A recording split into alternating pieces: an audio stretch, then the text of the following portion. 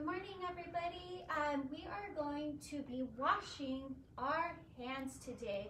We're going to be using this task analysis that you guys will be receiving in your next distance learning packet. So you can see it's for washing hands. So first we're going to turn on the water. So Miss Maggie is going to turn on the water.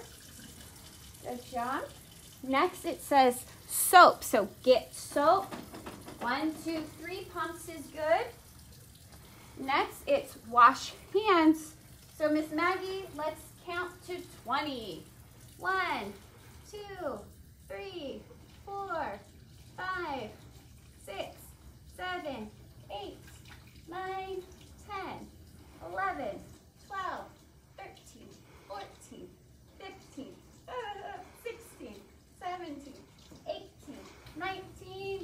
20. Good job. So turn off water next.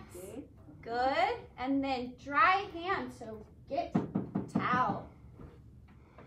One, two, three, four.